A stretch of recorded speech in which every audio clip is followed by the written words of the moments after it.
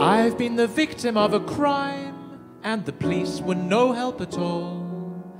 They said it happens all the time and gave me a number to call. It seems there's no solution, and I want restitution. For you have stolen my heart, I should be mad at you. Have stolen my heart, what can I do? I was fine on my own.